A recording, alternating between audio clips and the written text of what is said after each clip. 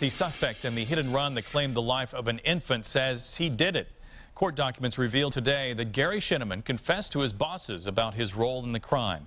RTV6 reporter Derek Thomas was there as Shinnamon went to court today, and he has the latest. Mr. Shinnamon, did you do that crime? Do you feel bad about the baby? The crash occurred last Tuesday night on West 38th Street. Shinnamon was driving the black Dodge Charger. He tried to pass a Chevrolet in front of him and hit it in the rear and sent it spinning. It struck the guardrail and the seven month old baby was ejected from the vehicle. The child died after being transported to Riley Hospital. The driver and the passenger of the Charger fled the scene.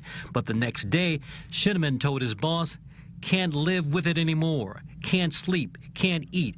I'm just going out of my mind. Do you know about the accident where the infant was ejected from the car? I was the driver.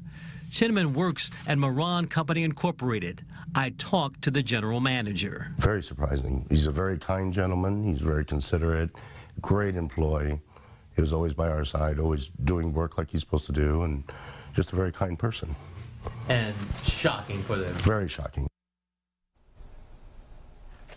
And prosecutors asked for and received 72 hours to complete formal charges. Shinnamon was driving on a suspended license. His next hearing is set for Wednesday morning. He's held on $60,000 bond in the Marion County Jail.